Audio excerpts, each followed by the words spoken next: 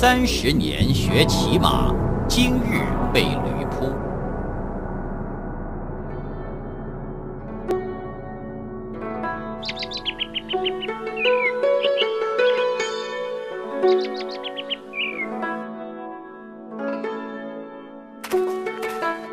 赵州悟道后，就到各处旅游，拜访当代的许多禅师。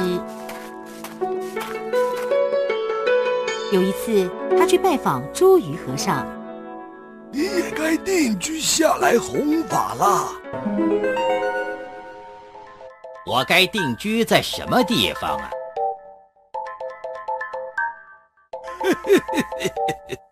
你居然连真人及自己的住处也不知道啊！我三十年来骑在马背上遨游，想不到今天却被驴子踢了一脚。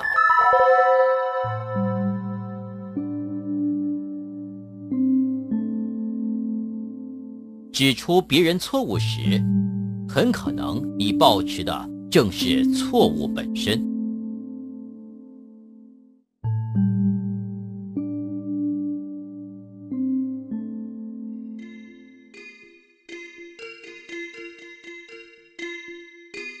赵州直到八十岁左右才定居在赵州东郊的观音院。